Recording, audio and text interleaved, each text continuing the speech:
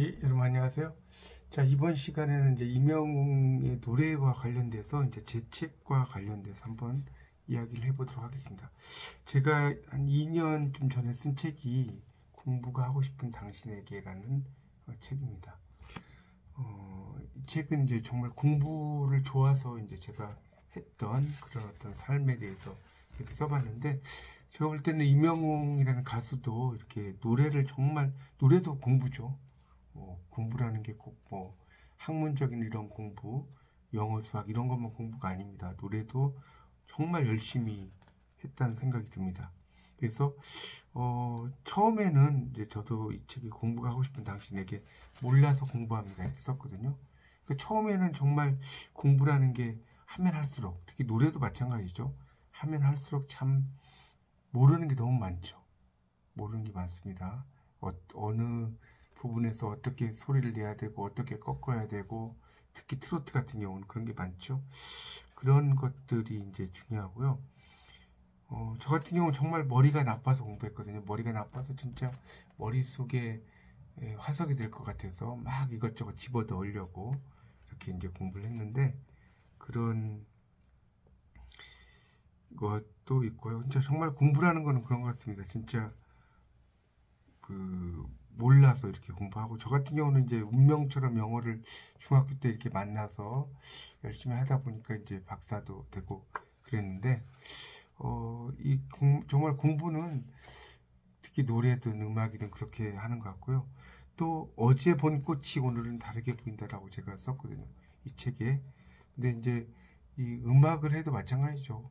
어제 내가 불렀던 노래가 오늘 보면 또 다르게 불려지는 것 같습니다. 음, 그래서 이제 이명웅이란 가수가 이제 그 김광석의 노래에 그 어느 60대 노부부의 사랑 이야기를 상당히 그 감정을 이입해서 이렇게 불러서 상당히 호응을 많이 받았거든요. 그러니까 어제 부른 노래가 오늘은 다르게 보인다 이렇게 볼 수 있겠고요. 공부는 나눌수록 커진다라고 그랬는데 이것도 음악은 나눌수록 커진다 이렇게 이야기하고 싶어요. 그러니까 이명웅이란 가수가 자신의 음악을 어, 이렇게 이제 많이 나눴지 않습니까? 그래서 이제 그렇게 되는 거고 무심히 공부하니 무심히 얻어진 것들 무심히 노래하니 무심히 얻어진 것들 이렇게 또 저는 이야기를 하고 싶습니다. 어, 그리고 이제 제, 제 책에서는 이렇게 어느 날 성현이 내게 내 귀에 속삭였다 이런 말을 제가 썼는데 결국은 어, 성현이라고 하는 것은 또 제가 볼 때는 뮤즈죠. 음악의 신. 음악의 신이 내기에 속삭였다 이렇게 볼 수가 있을 것 같고요. 그 다음에 인인 선생 첫째 학교죠. 정말 이 노래든 뭐든 많은 곳에 다 선생님이 있다는 거죠. 그리고 사소한 재미로 시작해서 판을 키운다. 그러니까 처음에는 이제 음악을 좋아해서 이렇게 공부하다가 결국 이제 트로트의 노래를 처음에는 이제 발라드 노래를 불렀다가 이제 트로트가 이제 상당히 각광을 많이 받게 됐죠.